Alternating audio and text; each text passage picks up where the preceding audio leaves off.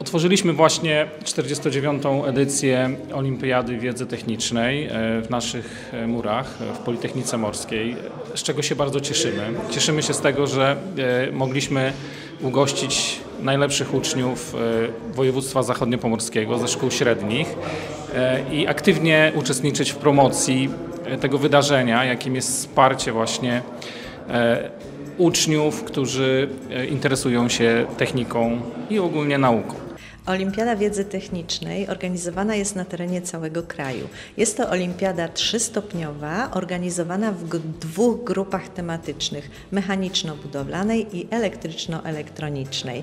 Celem olimpiady jest innymi zainteresowanie młodzieży techniką, y, współzawodnictwo pomiędzy sobą. Laureaci i finaliści mają możliwość ubiegania się o przyjęcie na studia bez egzaminów, na studia wyższe techniczne i są również zwolnieni z etapu pisemnego egzaminów zawodowych.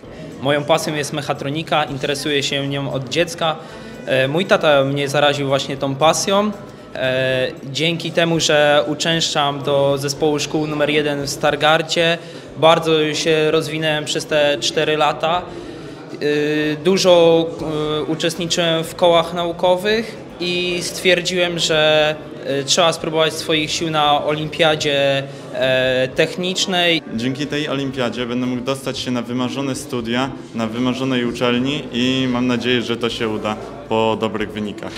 Młodzież naszej szkoły to uczniowie, którzy przyszli do nas już z dużą wiedzą techniczną. Rozwijają się bardzo dynamicznie w domu i w pracy u nas w szkole. No i dzięki współpracy na przykład takich uczelni jak Politechnika e, Morska mamy zaszczyt, że tak powiem, ich tutaj e, dowodzić na różne zajęcia edukacyjne, wspomagające, które pozwolą im w, przyszłości wybrać solidną uczelnię, która będzie ich rozwijać dalej w tym kierunku, który, który po prostu lubią.